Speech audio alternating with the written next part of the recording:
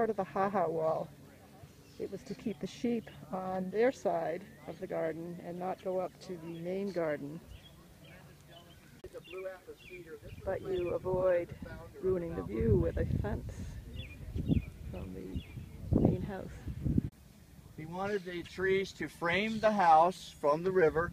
You got to remember, in the 18th century, a lot of lot of ships from France and England, because this flows down into the Chesapeake Bay, and a lot of people traveled in little schooners and rowboats and whatever on, on this river. Uh, travel was much easier on the river if you had a nice breeze. So he wanted his house to be framed, so he, he planted trees